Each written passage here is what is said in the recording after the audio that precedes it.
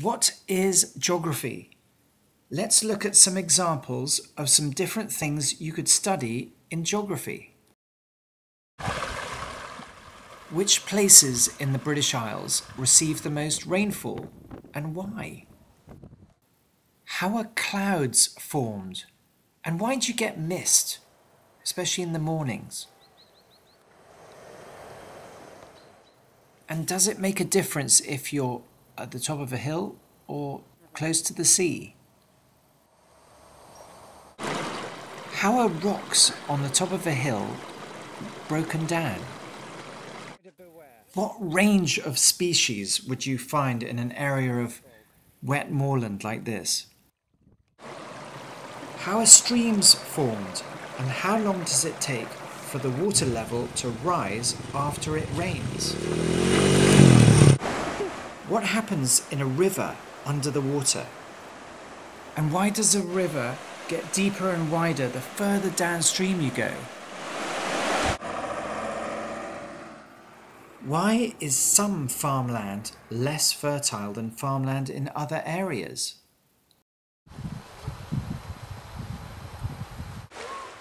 Why do you get a range of material on a riverbank? And then here's what the sound.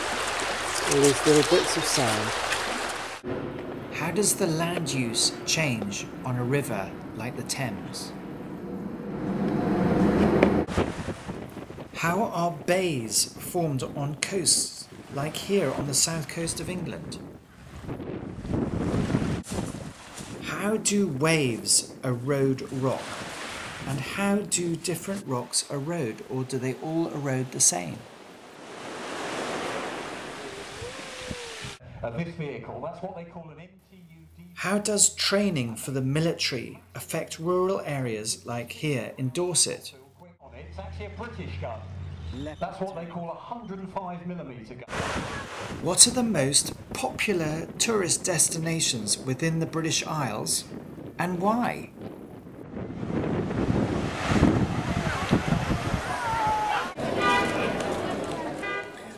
What other countries do British holidaymakers visit and what do they do there? In British cities, what's the difference between shops found in the centre of a city and shops found towards the edge of a city?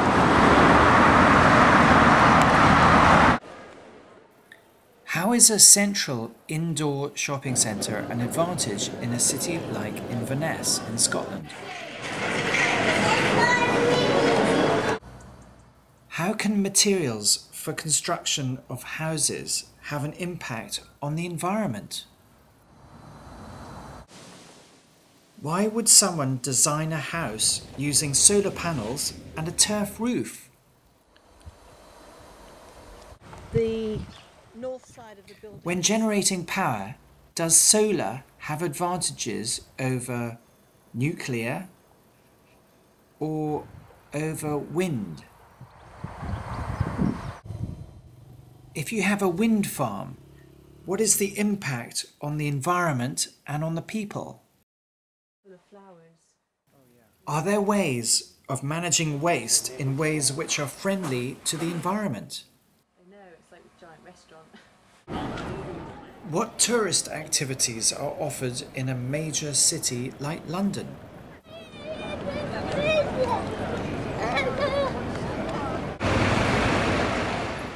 Where are the main places of work located in a major city like London? Where can people living in cities get exercise and enjoy green spaces?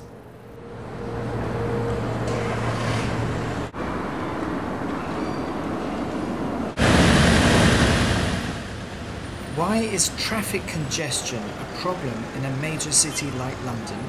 And how does it affect people living and working there?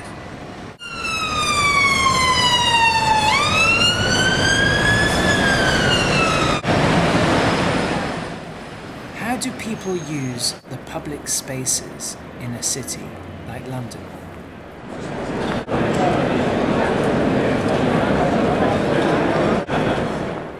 How does the microclimate change from place to place in a city? Why did areas of a city like London develop in the way they have developed?